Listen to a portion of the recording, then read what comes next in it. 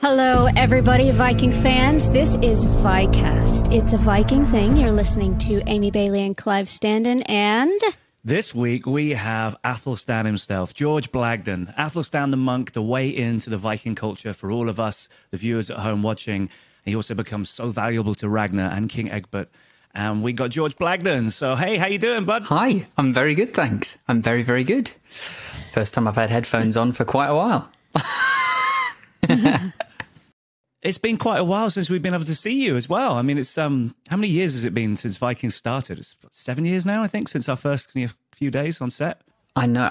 Yeah, don't. I um I I got terrified yesterday. Someone said to me yesterday that we started filming season 1 9 years ago.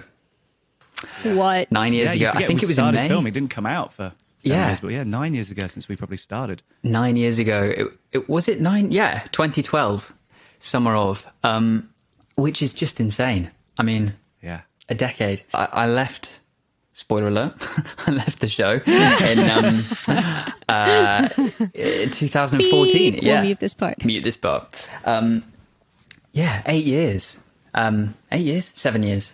So it's crazy, and, and I've I've been so amazed at how kind of I, I, it's become more and more popular a- as the years have gone on. I mean, uh, you you guys both haven't worked on it now for a couple of years as well, right? I mean, it's been a few years since you both left, and it feels like the last couple of years, and particularly the last year as well, lots of people have found it in lockdown or found it in the last year. And um, that's really lovely and really, really nice that it continually seems to find new audience members. You know, it's not something that happened six, seven years ago. It still feels like it's happening now. Are you are you are you trying to say that we're all still relevant, George? I'm clinging on to relevance from nine years ago, is what I'm saying. um, no, but I like it, it's lovely, isn't it? It's rare, I guess, that you get to be part of something as an actor where that happens. I'm sure, you know, for a lot of other projects that you've done, you've kind of gone in, done it, and it's had, you know, a life, and then you're kind of like the way that we are mercenaries. You move on to your next job, and that has a life, and you meet a new family that are, you know, um, watching that show, and and Vikings has just grown and grown and grown and grown, and never disappeared. It's it's lovely. It's amazing. Let's go right back to the beginning though, because my process for for getting cast is I was I was auditioning for Rollo and Ragnar, and there was loads of Vikings, you know, getting cast through this. But there was one thing that uh, that when I you know when you get your first round out of the way and you kind of start getting interested in this show Vikings, and you like you Google it, you IMDb it, and you find it, and there was one name that was attached to Vikings from the very very beginning. And that was you, George Blagden, cast, boom, before any Vikings were cast. And it's because you know, your character is is the eyes inwards to this Viking culture. It was very, very important they found the right guy to play Athelstan. So can you talk us through your casting process and how you auditioned and how you met Michael and, and, and at the very beginning, how it all started for you? Um, it it's fairly undramatic. I'll be honest. I, I auditioned in London. Um, would you believe in a church?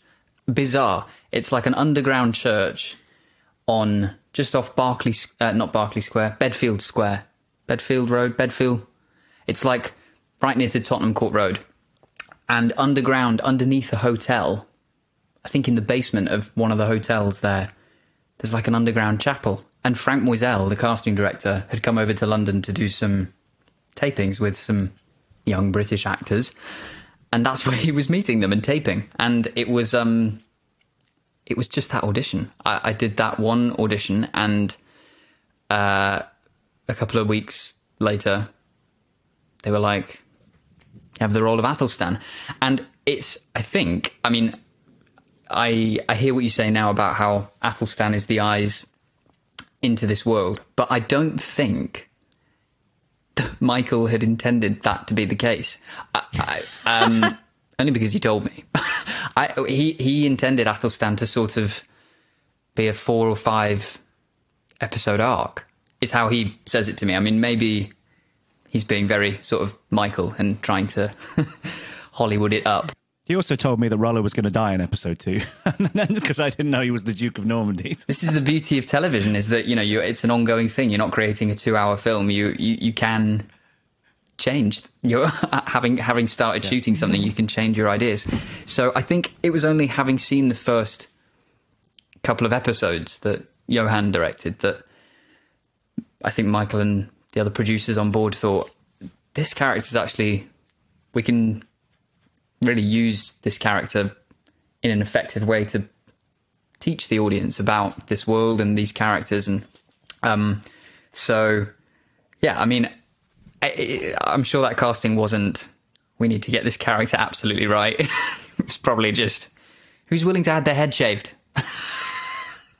I was going to say, what did you think as an actor? Because first of all, I remember, you know, when this show show started, vampires were the thing, right? Like nobody mm. cared about Vikings, nobody wanted Vikings, no one had ever seen Vikings on TV. Yeah. So all of us going into it were a bit like, what? And when History Channel? Like, what's going on? So you get this audition for Vikings, but then you're not even a Viking in it; you're a monk. with a bald spot on the top of your yeah. head. So, how much faith did you have? That I mean, Athelstan is is a much beloved character. It's so complex. It's favorite favorite. How how did you did you have an inkling of what Athelstan would become, or were you just going, eh, "I've never been a monk before. Why not?" um, I honest I, I honestly didn't. I I I, I um, yeah, I, I think I. It was all so overwhelming, and you you forget as well, kind of in the midst. I, w- I was 22 at the time, and you know, less than a year out of drama school, and you know, you're you're you're just kind of you don't want to admit it, but you are just treading water. Like you're you're desperately trying to like, okay, cool, I, well, I've booked this job, and let's just. I, you're terrified of just being terrible, so you're just like, let's just not be terrible. Let's get on set and say the words in the right order, and then you know we'll think about um, what comes next. And yeah, I, I again as well as with television, you know, you don't get to see the whole story. I think I only, I think I was only given episodes one and two. Yeah. Even by the time we started shooting, so, and I don't come in until halfway through ep, ep two. Um, so I knew nothing. It was just like he's a priest that Ragnar captures. That that was pretty much it. But you did a bit of research, right? You went to Lindisfarne when you when you found out. Yes, yeah. I um. Tell us about that because I remember that that was an amazing story. You went on your own and you kind of looked around all the ruins of Lindisfarne. So, yeah, it it was amazing. I mean, um, it was so amazing. Like I, I think probably one of the only times where I've done something like that for work, and it genuinely have been extremely beneficial. You know, often often you try and do something like that in terms of research, or and you, you kind of think, well, I can maybe use 10% of this experience or you know you read books on characters or worlds and you think ah, some of this is applicable. But going to lindisfarne was so incredible because i didn't realize how far out to sea it was. It's quite a way and whilst i was there i, I managed to see the tide come in and go back out. And um, i remember when i arrived people said you know before there was um, cars or horses and car. You know, the monks at that time would walk out to the island, and um, often they would die because the tide comes in and out so quickly. And I was kind of like, yeah, whatever. I'm I'm going to walk back and I'll show them. And uh, like within two minutes, and it, it was probably a couple of kilometers from the shore along this kind of yeah road that's built on a a sand dune. It's it's amazing. But within literally two or three minutes, the sea had just gone boom, covered it. So you, you can't get access to the island even in a car for part of the day. And um and that that was just I was like uh, wow, okay, that really was a very remote place. You know, you can only get access to it at certain times of the day and and when you did have access, especially in those times, you literally have to sort of fast walk, sprint yeah. back to shore or over to the island. So, um, yeah, that was, I mean, that was amazing.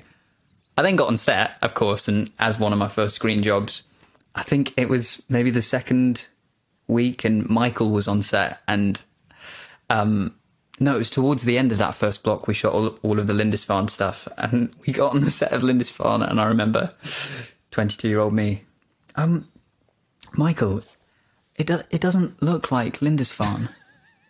it doesn't look anything like Lindisfarne. And I, I, just looked at me like, who the hell have I hired? Does he know that this is fiction?